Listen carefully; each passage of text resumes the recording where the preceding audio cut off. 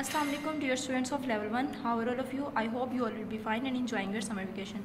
Today we are going to start our question number 9 on page number 15 open your skill booster pack page number 15 question number 9 is filling the blanks with the correct feminine pair you can find in the box. First we will recall our concept about gender what is feminine and masculine. Okay what is gender? Gender it is a state of being male or female it tells us to identify the gender or sex between uh, the person is a male or a female the mammal is a male or a female okay? Now what is masculine?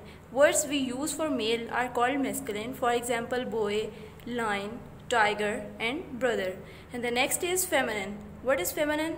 Words we use for female are called feminine. For example girl tigress and sister. Okay level 2 let's start our question number 9 First is fox. Fox, the feminine pair will be vixen, right, in the given space. Next is bull, feminine pair will be cow. Next is drake, feminine pair will be duck. Next is stag, stag, feminine pair will be hind. Next is tiger, feminine pair will be tigress. Next is cock. Feminine pair will be hen. Next is stallion. Feminine pair will be mare. Next is peacock. Feminine pair will be peahen. Next is gander. The feminine pair will be goose.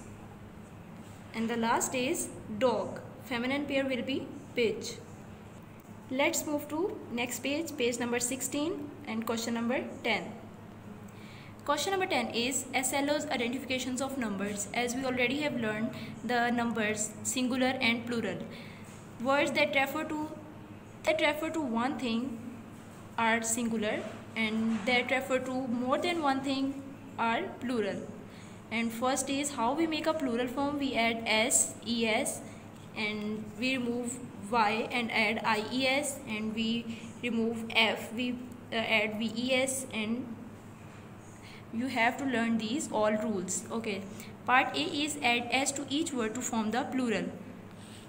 Bird birds like this cook cooks head heads right in the given column.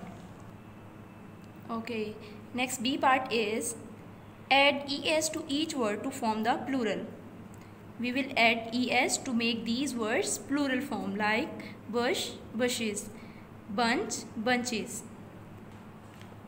Okay. Now move to part c changing y to i and add es we will remove y and we will add ies to make these words plural form. Yes. Pony ponies. Baby babies. Berry berries. Story stories lady ladies gypsy gypsies penny pennies. Yes our next move to our last point part d change f to v and add es es like f elves. Like this shelves shelves. We will remove f and add ves yes shelf shelves half halves calf calves okay this was all this was all for today. I hope you understand the concept of singular and plural. This is compulsory for you to learn these rules also to make a plural form. Okay then you will be you can easily change the singular into a plural form. Thank you so very much